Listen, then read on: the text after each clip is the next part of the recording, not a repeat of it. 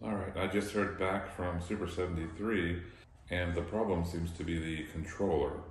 Some people call it the brain. Not to be confused with the display, of course. I guess the brain slash controller is what's under your seat. If you've ever taken your seat off, you can see a big black area that's kind of like wrapped up, and I guess that's the brain. And that's the problem.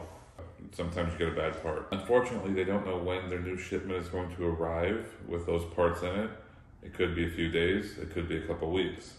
So, based on that, I'm going to be down for a while. I've already been down for a month. It might be another month, who knows? He did say that this was not an isolated incident and that it is happening with other bikes, but it is pretty rare still.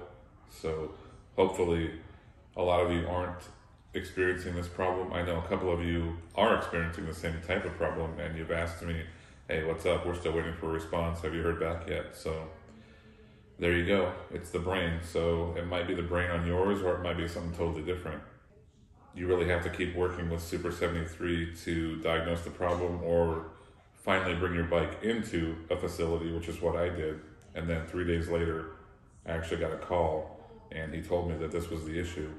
I got a call from the same guy that had been emailing me for a few weeks, so I was kind of surprised that he actually called me. Maybe, with any luck, the part will come in sooner than expected, and I can get back out there on the road again with you guys. We'll hope for the best. Until the next update, be safe.